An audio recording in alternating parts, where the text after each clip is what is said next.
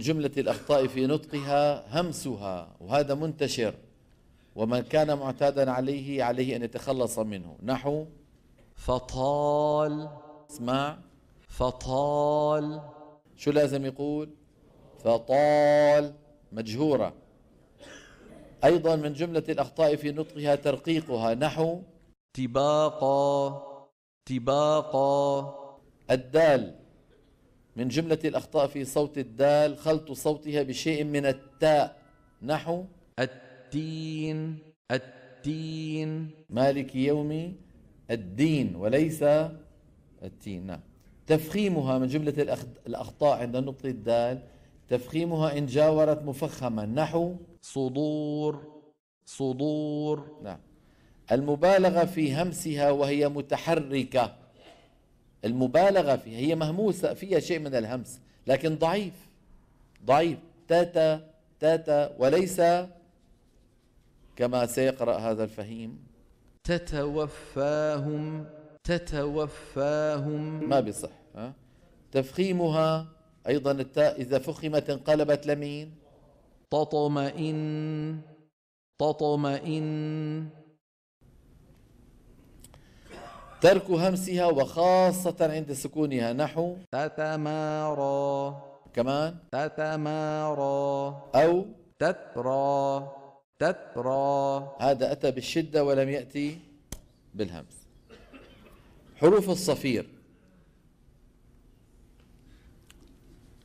إضعاف صفيرها. هذا من جملة الأخطاء. إضعاف صفيرها. نحو الصالحين. أو المسجد أو يزكى إعمال الشفة السفلى عند نطقها نحو الصالحين أو يزكى ضم الشفتين عند نطق الصاد نحو الصالحين ترقيق الصاد نحو المصير نعم تفخيم السين نحو يسطرون كمان يسطرون خلط صوت السين بالزاي. نحو واسجد واسجد ها؟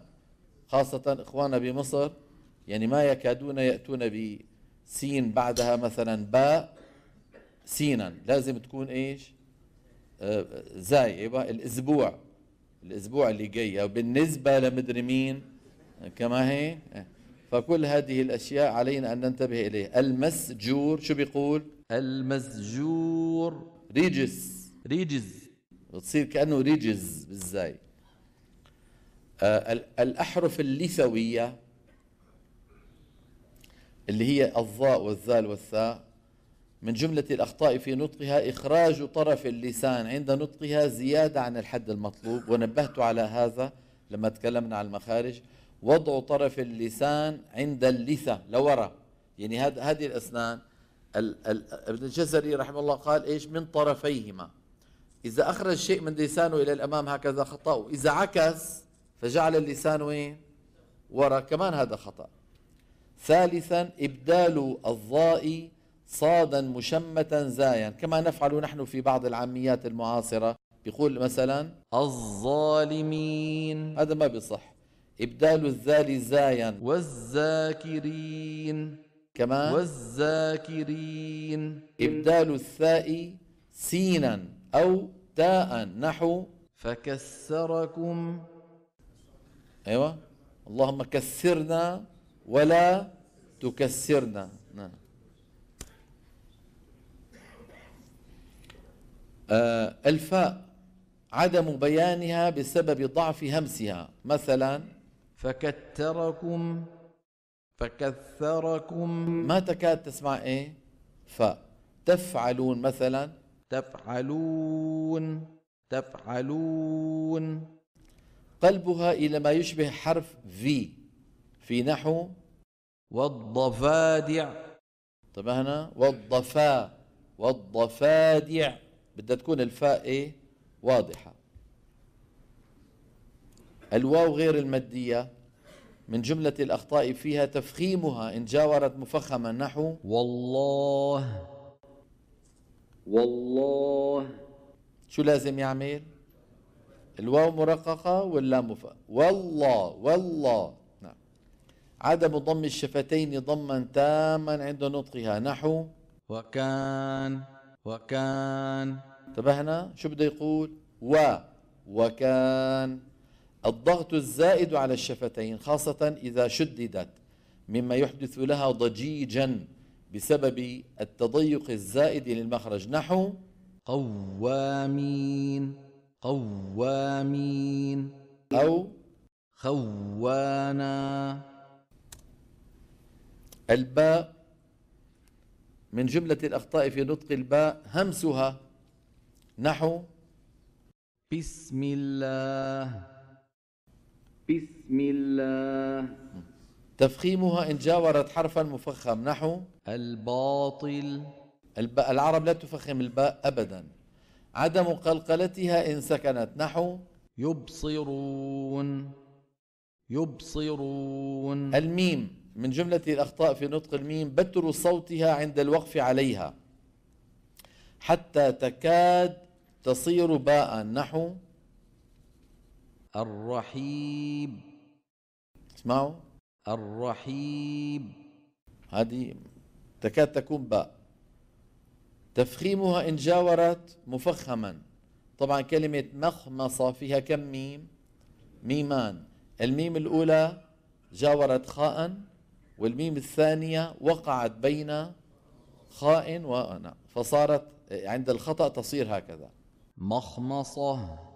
مخمصة. المفروض يقول إيش؟ مخمصة. مخمصة. هذا يا إخواني بسموه القدامى من المصنفين من آه، علماء التجويد بسموه تخليص الحروف. تخليص الحروف. شو يعني تخليص الحروف؟ يعني تخليص المفخم من المرقق والمرقق من مين؟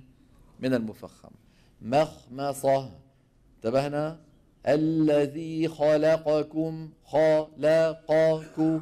شايفين التناوب في الحروف؟ أيضا من جملة الأخطاء في نطق الميم قلقلتها إن سكنت. نحو يمترون. يمترون أو أنعمت أنعمت نعم. هذه هي أبرز الأخطاء في هذا الأمر.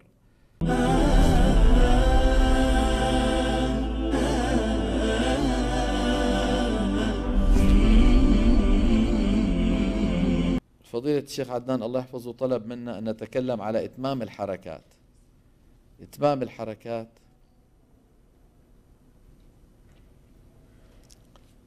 أيها الإخوة الكرام نحن نعلم بأن الحرف العربي إما أن يكون ساكنا أو مفتوحا أو مضموما أو مكسورا يعني حالة من إحدى أربع حالات.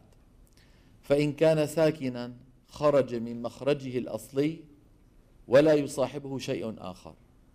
أش أل أم أع. إن كان الحرف العربي مفتوحا خرج من مخرجه الأصلي وصاحبه انفتاح للفم. انفتاح للفم يعني تباعد للفكين. هذا فك وهذا فك. الفك السفلي يتحرك الفك العلوي متصل بالجمجمة أه؟ با طبعا الفتح غير مبالغ به. قال أبو عمرو الداني رحمه الله فتح العربي فتح وسط. فتح العربي فتح وسط. لأنه إخواننا يعني بعض الشعوب غير العربية عندهم إيه؟ آه مبالغة في آه في فتح الفم. انتبهنا فأما العرب لما يفتحون يفتحون فتحا وسطا. انتبهنا با قا سا ع شا فيخرج الحرف من مخرجه ويصاحبه مين؟ انفتاح للفم. إن كان الحرف مضموما خرج من مخرجه الأصلي وصاحبه ضم الشفتين. ضما محكما كأنك تنطق واوا. لو نطقت واوا كيف تقول؟ أو قالوا. هنا تقول قل إنكم كو قو عو. سو شو. انتبهنا نعم. وإن كان الحرف مكسورا خرج من مخرجه الأصلي وصاحبه ارتفاع لوسط اللسان اللي هو مخرج مين؟ الياء. وتلقائيا شو بصير بالفك السفلي؟ ينزل قليلا.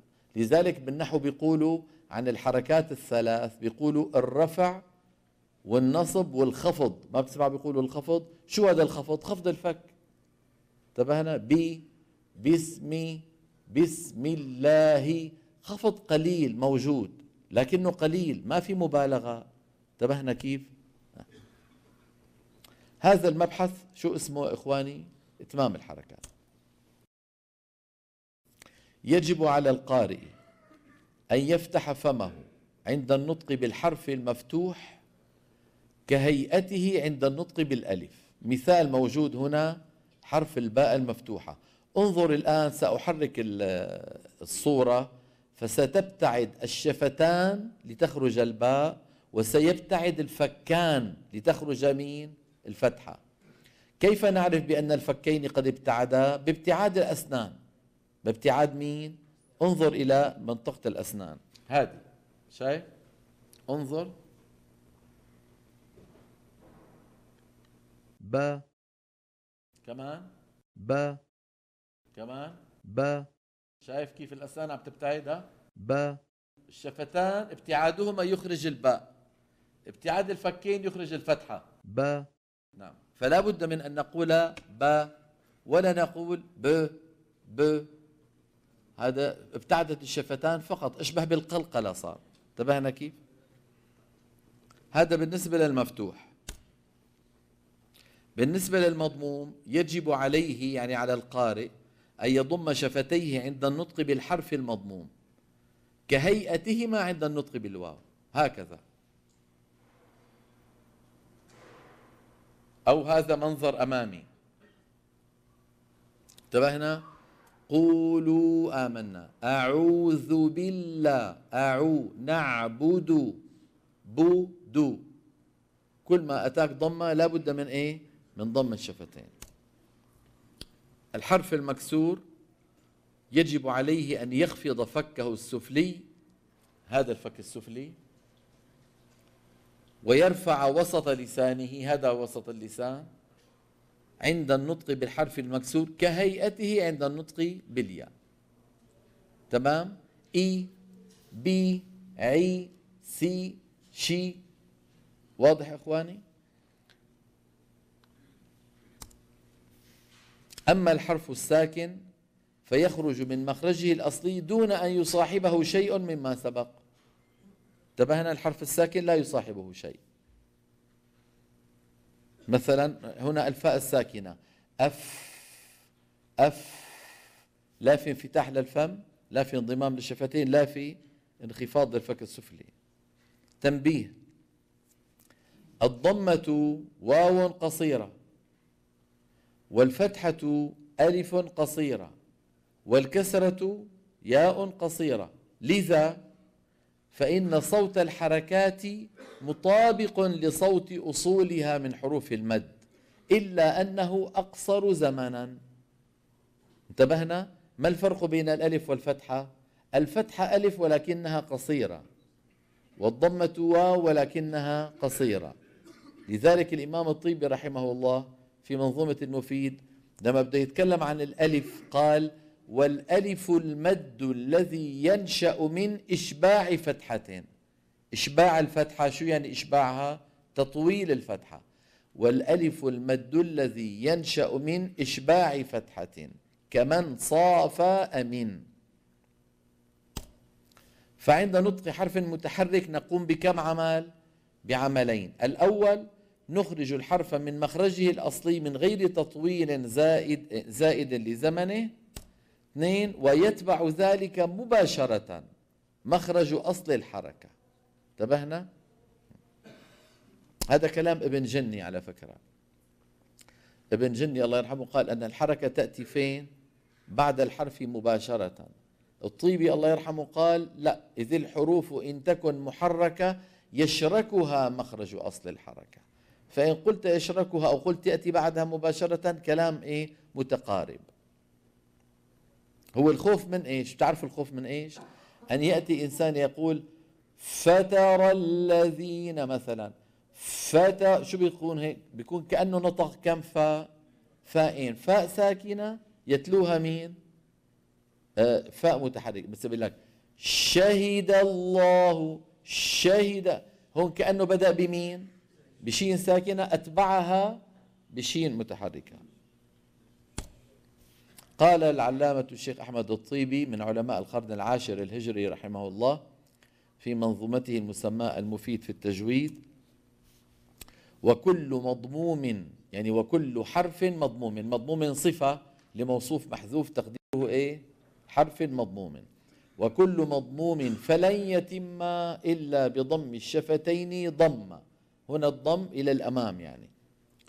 وذو انخفاض بانخفاض للفم. هنا أطلق الفم ومراده الفك. العرب أحيانا يطلقون شيئا ويريدون جزءه. انتبهنا؟ أطلق الفم مو معقول الواحد هذا الفم هذا كله فم. هذا كله فم. يعني الواحد لما بده يجيب كسرة بده يوطي راسه؟ لا. وذو انخفاض بانخفاض للفم يعني بانخفاض للفك. نعم. يتم والمفتوح بالفتح يعني والمفتوح يتم بالفتح. افهمي يا أخانا يعني.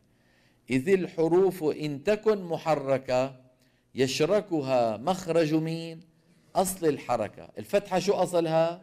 الألف. الضمة الكسرة يشركها مخرج أصل الحركة. أي مخرج الواو بالنسبة للضمة ومخرج الألف بالنسبة للفتحة. والياء في مخرجها الذي عرف بالنسبة للكسرة فإن ترى القارئ لن تنطبق شفاهه بالضم كن محققا بأنه منتقص ما ضم والواجب النطق به متم.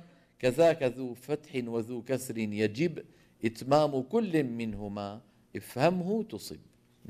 كلام جميل الله يرحمه. الشيخ الطيبي يعني شعره من السهل الممتنع. من السهل الممتنع الحقيقة. ومين مثله هيك سهل؟ شعره جميل ولذيذ يعني ما ما غامض ما في غموض. شيخنا الشيخ السمنودي الله يرحمه. الشيخ إبراهيم علي شحاته السمنودي سبحان اللي أعطاه. يعني سبحان الله قال لي سيدنا الشيخ عبد العزيز بن سود قال لي يا عمي الشعر على لسانه كالماء. يعني من حيث السهولة.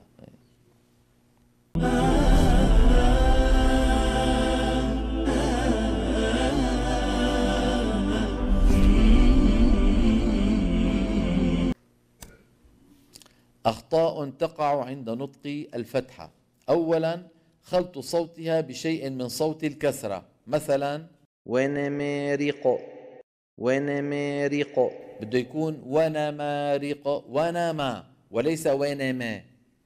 خلط صوتها بشيء من صوت الضمة. ختم. هذه بحجة التفخيم ها؟ قد. نعم. خلط صوتها بالسكون. وذلك بعدم فتح الفم بالمقدار المطلوب. نحو أعوذ. آه شايف آه أعوذ. آه. طب فين الفتحة ب آه. طب أنا آه آه هذه فتحة. كتب شو بيقول؟ كتب. كتب. والله صعبة. خلط صوتها بشيء من صوت الفتحة. هذا عدم الضم الكامل. شايفين؟ مثلا إنكم. إنكم. شو لازم يقول؟ إنكم. خلط صوتها بشيء من صوت الكسرة. نعم.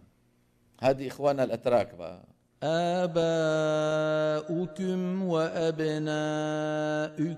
وإخوانكم وأزواجكم وعشيرتكم. ما هي أخذناهم لتركيا أخذناكم لتركيا هلا. ثلاثة خلط صوتها بالسكون. قال الطيبي رحمه الله هو صاحب كل مضموم قال وعند نطق الحركات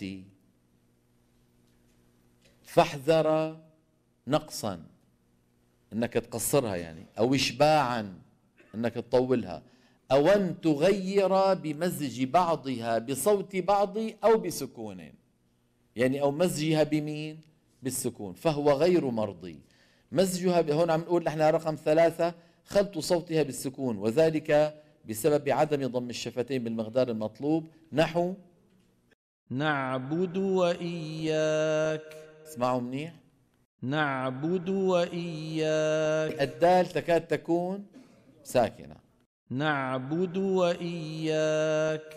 المفروض يقول نعبد وبود بو دو و. أخطاء تقع عند نطق الكسرة. خلط صوتها بشيء من صوت الفتحة.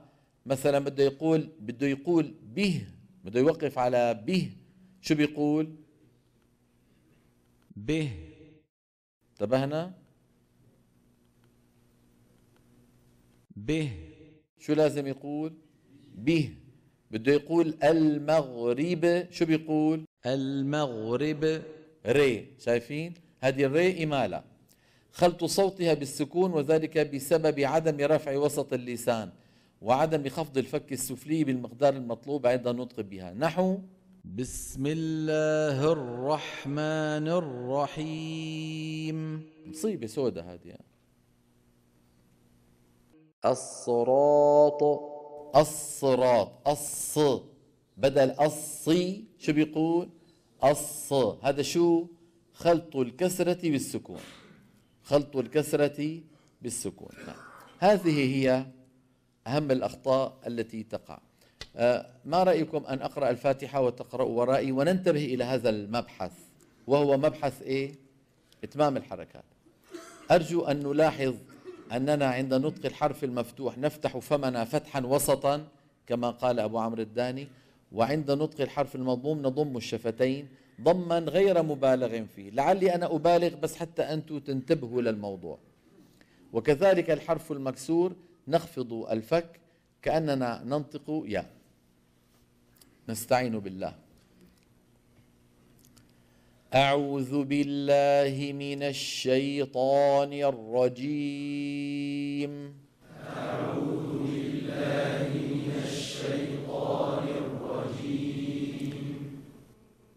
بسم الله الرحمن الرحيم. بسم الله الرحمن الرحيم الحمد لله رب العالمين الحمد لله رب العالمين.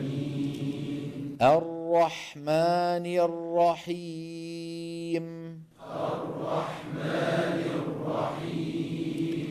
مالك يوم الدين. مالك يوم الدين إيا لاحظوا ها إيا صوت الياء لا ينقطع لأنها حرف رخو. إياك نعبد وإياك نستعين.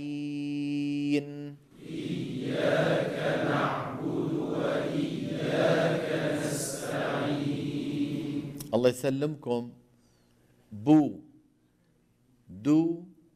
و. بو مضمومة. دو مضمومة. و. الواو أم الضمة. ها الواو أم الضمة. ما هي؟ وصايرين ورا بعض. هذا بسموه عند أهل اللغة توالي الضمات. توالي الضمات. بدنا ننتبه ما يطلع عندنا حرف ناقص الحركة. أعيد. إياك نعبد وإياك نستعين.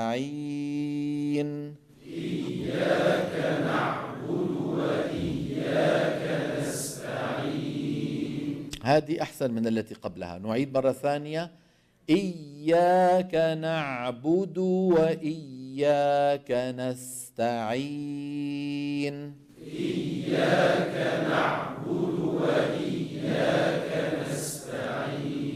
بودو و ضم شفايفك بالثلاثة.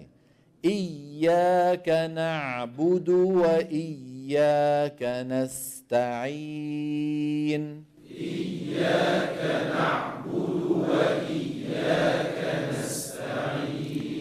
إهدنا الصراط المستقيم.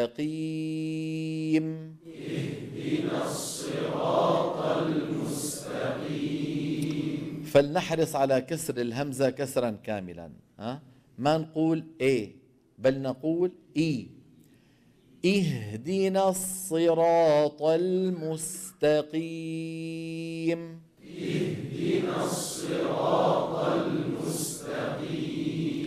صراط الذين أنعمت عليهم.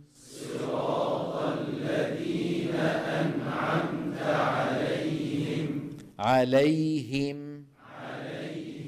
الخطأ عليهم. هذا الخطأ. انتبهنا؟ غير المغضوب عليهم.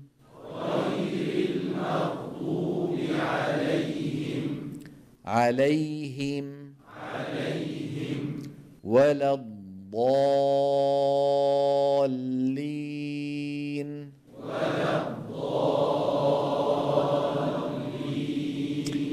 خلينا اللام مثل ما حكينا أول أمس آه أن يعني نبين اللامين اللام الساكنة واللام المكسورة.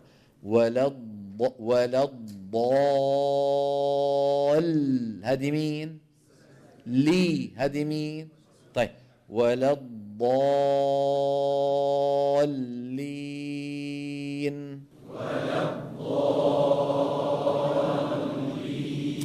مع بعض. ولا الضالين.